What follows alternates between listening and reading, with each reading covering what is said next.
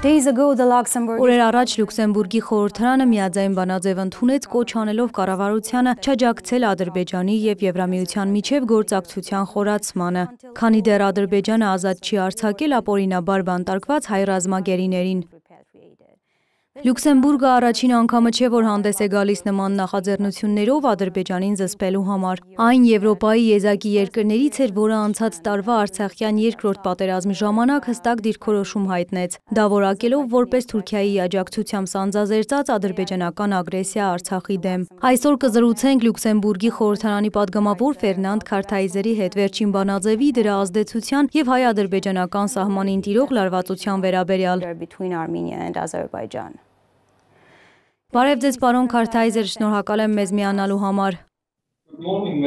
Բարև ձեզ, շնորհակալ եմ հարցազրույցի համար։ Պարոն Քարթայզեր, դեռ ամիսներ առաջ ընդգծվում էր Ադրբեջանին զսպելու, վերահսկելու գործում Եվրոպայի միջամտության կարևորությունը։ Լյուքսեմբուրգում նույնիսկ քննարկվում էր Ադրբեջանի դեմ Եվրամիության մակարդակով պատժամիջոցների սահմանման անհրաժեշտությունը։ Այժմ հատկապես հաշվի առնելով Հայաստանի ինքնիշխան տարածքում ադրբեջանական վերջին ագրեսիան, ինչը հանգեցրեց նաև մարդկային կորուստների, արդյոք ժամանակը չէ, որ միջազգային հանրությունը կոչերից անցում կատարի գործնական քայլերի, զսպելու միջազգային իրավունքը եւ ՄԱԿ-ի կանոնադրությունը կոպտորեն խախտող Ադրբեջանին։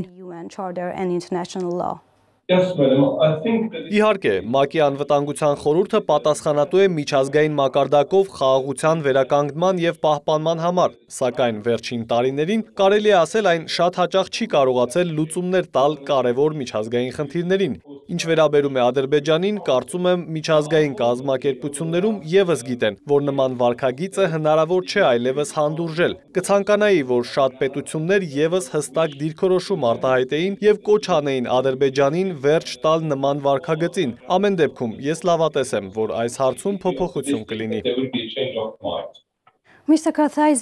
Ամիսներ առաջ դիմել էիք խորհրդարանի նախագահին հստակ հարցադրումներով, կապված Ադրբեջանում պահվող մեր ռազմագերիների եւ քաղաքացիական անձանց ճակատագրի, նրանց նկատմամբ անմարդկային վերաբերմունքի հետ։ Ինչ արդյունք ունենք հիմա, ամիսներ անց։ Արդյոք Լյուքսեմբուրգի կառավարությունը որևէ հստակ գործնական քայլերի է դիմել։ Այս հարցը բավական զգայուն է հաշվի առնելով, որ վերջին ագրեսիայի արդյունքում ադրբեջանական կողմը Հայաստանի տարածքում գերեվարել է 13 զինծառայողի, եւս 24-ի մասին տեղեկություն չկա fate remains unknown. Yes, well, I, I would Նախ եւ առաջ պետք է նշեմ, որ սա միայն Հայաստանի խնդիրը չէ, այն, որ Ադրբեջանը նման կերպ է վարվում ռազմագերիների հետ, նաեւ պահում է քաղաքացիական անձանց միջազգային մարդասիրական խոշոր խնդիր է։ Գիտեք, որ Լյուքսեմբուրգը բավականին փոքր երկիր է, սակայն դա չի նշանակում, որ երկիրը չունի նման հարցերում ազդեցության լծակներ։ Այն ակտիվորեն ներգրավված է մի շարք միջազգային կազմակերպություններում, ինչպես նաեւ Եվրամիության շրջանակում։ Ինչ վերաբերում է ՄԱԿ-ին, ապա Լյուքսեմբուրգը իր պատմության մեջ առաջին անգամ միացել է ՄԱԿ-ի մարդու իրավունքների խորհրդին։ Դա մեզ համար եւս մեկ հնարավորություն է արտահայտվել Ադրբեջանում ապօրինի պահվող Հայաստանի քաղաքացիների շահերի օգտին։ Ինչու՞ չէ, նաև խոսել Ադրբեջանի ժողովրդի մասին, որը դարձել է սեփական երկրում մարդու իրավունքների խախտումների զոհ։ Մենք հայտնում ենք մեր լիակատար համերաշխությունը Հայաստանին եւ հայերին։ Չպետք է կորցնել հույսը։ Հայաստանի դեմ վերջին ագրեսիան ինչ արձագանքներ է ստացել Լյուքսեմբուրգում։ Արդյոք հանրային եւ քաղաքական շրջանակները բավարար իրազեկված են Ադրբեջանի գործողությունների վերաբերյալ։ Հանրային շրջանակներում միանշանակ ոչ։ Կարծում եմ պետք է իրատեսական լինենք նման հարցերում։ Արևմտյան երկրների հասարակությունը հիմնականում տեղյակ չէ, թե ինչ է կատարվում ձեր տարածաշրջանում։ Շատերը նույնիսկ երբեք էլ չեն լսել արկա խնդիրների մասին։ Այդ իսկ պատճառով կարծում եմ, որ մենք քաղաքական գործիչներս, նաև լրագրողները պատասխանատու են հանրության ուշադրությունը նման խնդիրներին հրավիրելու համար։ Դա միանգամայն իրատեսական է, քանի որ հարևան տարածաշրջանների մասին ենք խոսում գործում, իսկ Եվրամիությունը արևելյան գործընկերություն ունի ձեր տարածաշրջանի հետ, այսինքն դա լիովին մեզնից եւ մեր գործողություններից է կախված։ Անհրաժեշտ է քայլեր ձեռնարկել։ Կարծում եմ մեզ համար նաև պատիվ է արտահայտել մեր կարեկցանքը եւ օգնել մարդկանց, որոնք մեզնից հեռու չեն ապրում եւ կարիքի մեջ են։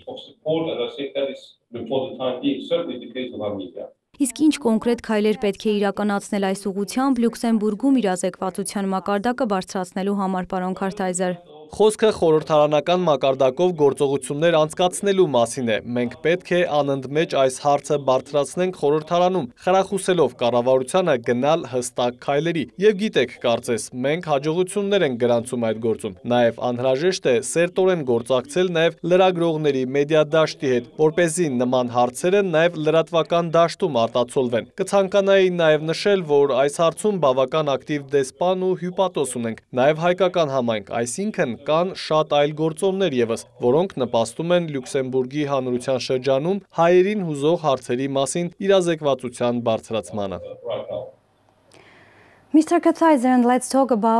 Խոսենք Թուրքիայի դերակատարման մասին, ըստ փորձագիտական գնահատականների նախորդ տարվա պատերազմի ժամանակ ահաբեկիչների ներգրավվածությունն ու Թուրքիայի աջակցությունը զգալիորեն ազդեցին ուժերի հարաբերակցության եւ պատերազմի ելքի վրա։ Այս պատերազմը տարբեր էր, կարելի է ասել ավելի շատ տեխնոլոգիաների եւ անօթաչու թռչող սարքերի պատերազմ էր։ Փաստացի Թուրքիան դարձել է տարածաշրջանում թիվ 1 ապակայունացնող երկիրը, իսկ Արցախը դարձավ վերջին օրինակը։ Ինչպես են ՆԱՏՕ-ի հիմնադիր անդամ Լյուքսեմբուրգում դիտարկում դաշինքի անդամ հանդիսացող Թուրքիայի ապակայունացնող քաղաքականությունը, որը տարածվում է արևելյան միջերկրականից մինչև Արցախ, Լիբիայից մինչև Սիրիա։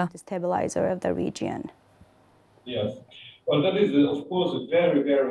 Սա կարևոր խնդիր է ձեր տարածաշրջանի համար, ինչպես նաև ամբողջ Եվրոպայի համար, քանի որ Թուրքիան կարևոր ռազմավարական դիրք ունի եւ իհարկե հզոր տնտեսություն, սակայն այն մեկուսանում է արագ տեմպերով։ Թուրքիան բարդ հարևան է, այն ոչ միայն ներգրավվածություն ուներ Արցախում, այլև բավական բարդ հարաբերություններ ունի Եվրամիության այնպիսի երկրների հետ, ինչպիսին է օրինակ Հունաստանը։ Թուրքիան օկուպացրել է Կիպրոսի մեծ մասը, ագրեսիվ քաղաքականություն է վարում համարում քրդերի նկատմամբ։ Սա իսկապես մեծ խնդիր է եւ այս պարագայում Թուրքիան ցանկանում է անդամակցել Եվրամիությանը։ Կարծում եմ, նա հաջողելու որևէ հերանակար չունի, քանի որ ոչ ոք չի աջակցում։ Ինչ վերաբերում է ՆԱՏՕ-ի անդամակցությանը, այնտեղ եւս կան կարծիքներ, որ պետք է վերանայել Դաշինքի շրջանակում Թուրքիայի հետ ունեցած հարաբերությունները։ Մենք որևէ կերպ չենք կարող աջակցել այնպիսի քաղաքական վարկագծի, որը ворթեգրել է նախագահ Էրդողանը։ Եվ ցավոք, Թուրքիան ինքը իրեն մեկուսացնում է եւ դարձնում միջազգային քննադատության առարկա։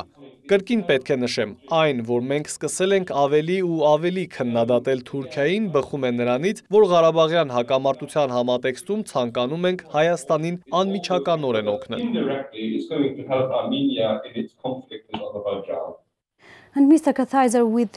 Վերջին մեկ տարում հրապարակվել են բազմաթիվ փաստեր, որ Արցախի Ադրբեջանի վերահսկողության տակ անցած մի շարք շրջաններում ոչնչացվում է հայկական հետքը։ Խոսքը հայկական մշակութային եւ պատմական հուշարձանների, հայկական գերեզմանատների մասին է։ Այս առումով ադրբեջանական գործողությունները շատ նման են իսլամական պետություն ահաբեկչական խմբավորման գործելավոճին Մերձավոր Արևելքում։ Պարոն Քարթայզեր, նախկինում ներգրաված եղել եք նման թեմաներում, ըստ ձեզ արդյոք ընդունելի են Եվրախորհրդի, ԵԱՀԿ-ի եւ Եվրամիության արևելյան գործընկերության անդամ երկրի կողմից նման գործողությունները։ OSCE, the EU Eastern Partnership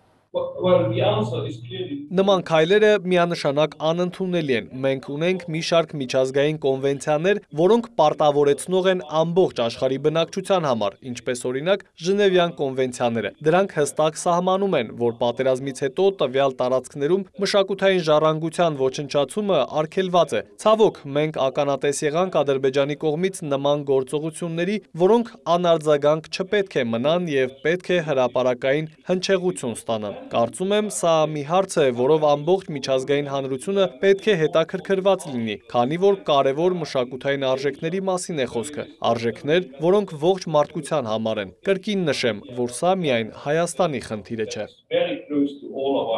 Եվ խոսելով Լյուքսեմբուրգ-Հայաստան հարաբերությունների մասին, ինչ հնարավորություններ եք տեսնում երկկողմ գործակցության զարգացման հարցում եւ արդյոք առաջիկայում որոշ նախաձեռնություններ կարելի է ակնկալել։ Ինչպես արդեն նշեցի, ակտիվ դեսպան ունեք, որը հանդես է գալիս տարբեր նախաձեռնություններով։ Դրանցից մեկը օրինակ Հայաստանի արտգործնախարարի սպասվող այցն է Լյուքսեմբուրգ։ Մենք դրան շատ ենք սպասում։ Կարծում եմ, հատկապես այս ժամանակաշրջանում կարևոր է շփումներ ունենալ մեր բարեկամների հետ եւ քննարկել մի շարք խնդիրների համատեղ լուծման ուղիները, ինչպես նաեւ այնպիսի հարցեր, որոնց մասին զրուցեցինք այսօր։ Ակնկալում ենք նաեւ տնտեսական եւ մշակութային գործակցության ամրապ ամրապնդմանը ուղղված քննարկումներ։ Նշեցիք եւս մեկ կարևոր հանրային իրազեկվածության բարձրացման հարցը։ Այստեղ եւս անելիքներ կան։ Շնորհակալ եմ հարցազրույցի համար, պարոն Քարթայզեր։ Շնորհակալ եմ հրավերի համար։ Thank you. Այսօր զրուցեցինք Լյուքսեմբուրգի խորհրդարանի падգամավոր Ֆերնանդ Քարթայզերի հետ հայ ռազմագերիների հայրենադարձման վերաբերյալ բանաձևի եւ օրեր առաջ Հայաստանի հետ սահմանին Ադրբեջանի սանձազերծած ագրեսիայի մասին։ Շնորհակալություն մեզ դիտելու համար։ Thanks for watching us.